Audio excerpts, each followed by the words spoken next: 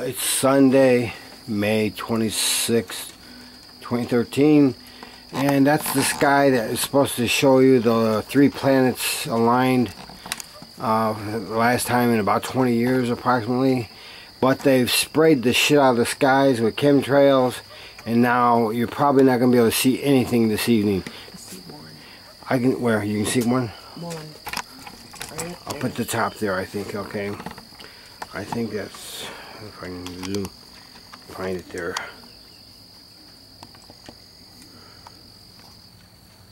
It's probably Saturn. It's the brightest one, probably.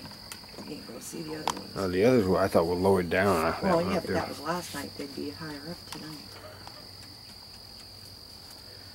I'm not seeing it in here. Oh, there it is, right in this. Alright, come on now.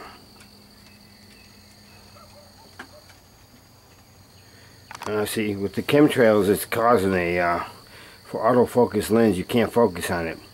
I mean, I'm zoomed exactly where it's at, and you don't even, I don't even see it in the viewfinder at all. I mean, it is, it's like a mist, you know, it keeps it from being focused on it. That's part of the, uh, uh, we got the uh, idea of, of spraying the skies. they don't want us to see what's in the sky. But the chemtrails, I'm going to zoom back out. It's your pretty poison. Pretty poison in the sky, gonna help you up and die. Say something, say nothing, do nothing, deserve nothing. Three planets, last the last time for approximately I thought I said two decades.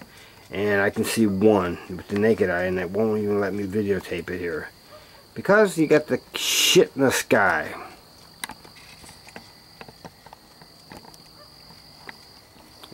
pisses me off